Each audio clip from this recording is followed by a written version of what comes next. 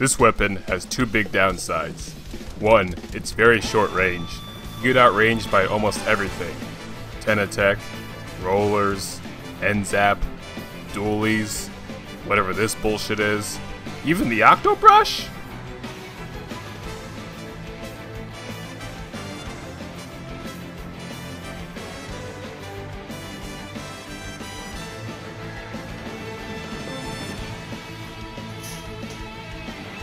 And if you're like me and you use both this and the original bucket, then switching between the two can be disorienting. The other bad thing about it is that if you use it, people will say you're bad at the game, even though it got nerfed hard and then buffed later, even if it was your most used weapon in Splatoon 1. There's a definite category of weapons that I wouldn't put the Tri-Slosher into anymore, that I refer to as weapons that aren't necessarily bad, however bad players tend to use them, also known as what what Tam Patout. Weapons that fall into this category include, but are not limited to, the Clash Blaster, the Sploosh-O-Matic, the Splattershot Junior, the Undercover Brella, the Ink Brush, the Aerospray, the Goo Tuber, and the Jet Squelcher.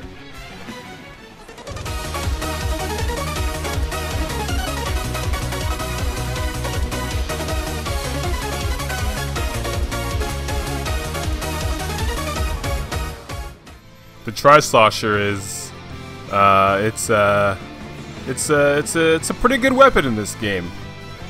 It may be short range, but it has a super fast kill time and covers such a large area in front of you that you don't really have to aim super well.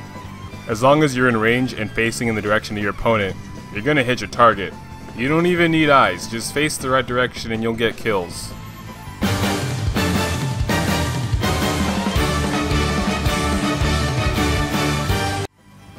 It's such a good weapon that it almost ruined Splatoon 2 when it first came out, and even after the nerfs, it's still really good. This is the weapon I used almost exclusively to get to X rank in Clam Blitz. Anyone who has played solo clams knows that you have to carry the team more so than ever before in order to rank up. Seriously, even in S+, plus, you know, the second highest rank in the game, there are more missed dunks than the first round of March Madness.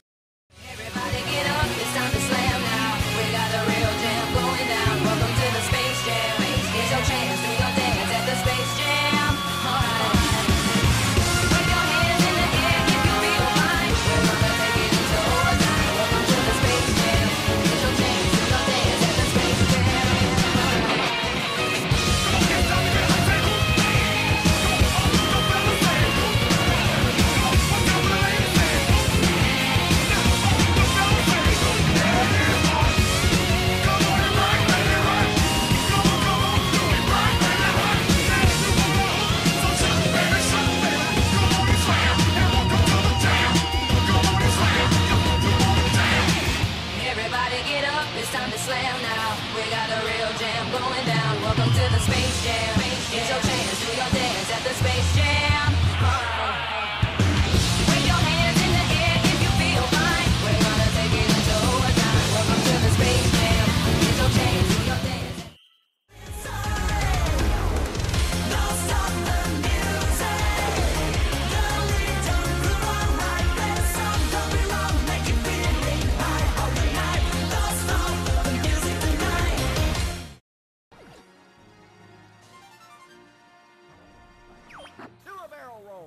Press ZR twice.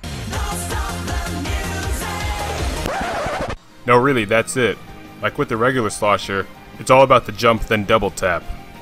Mastering the tri-slosher is less about the weapon itself and more about movement around the map. Since you get outranged by most weapons, you need to be able to close the gap between you and them, and once you've done that, you're almost guaranteed a kill. Stealth is always a good option, however, I'm all about running a good amount of swim speed up and approach my target diagonally to get within range. If you're going towards enemy ink, then jumping and aiming slightly up as you do the first slosh, and then aiming level as you do the second is always a good option. I call this maneuver the Super Sloshin' Slam Jam! Patent pending. With both the original and new triple buckets, your bombs can be used to paint and attack outside of your bucket range. You can throw a bomb forwards, then throw out a slosh, and then swim through the entire trail.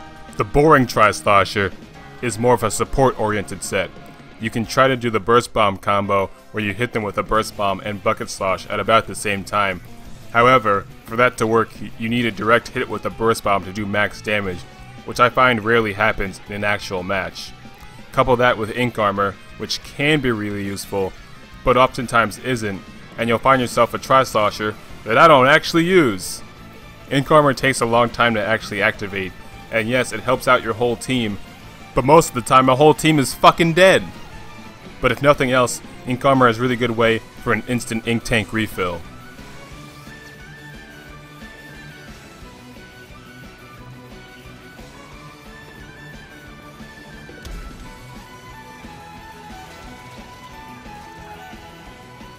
Now for the Tri-Slosher Nouveau, this is the one I actually used to get out of Clam Blitz hell. Splat bombs are great, they have a huge variety of uses. Throw them to attack people up high, roll them to attack people on the ground, drop them at your feet to get away if you're being chased. Ink Storm is also really good. It's free map control, a good source of chip damage, always useful for doing pushes.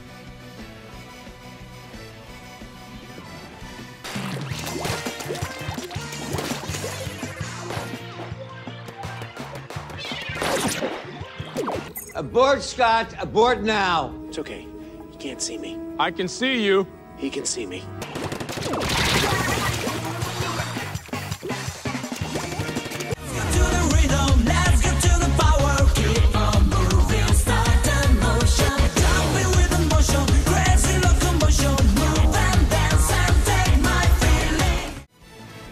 Since the Tri-Slosher is all about movement, stacking swim speed is a pretty good idea.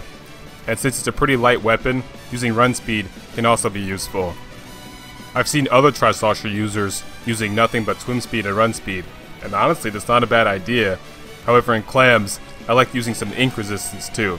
It's honestly an underrated ability in Splatoon 2. For me personally, I like having a lot of map control, and accomplish that by spamming bombs, throwing up rain clouds, and you know me, I'm always double tapping.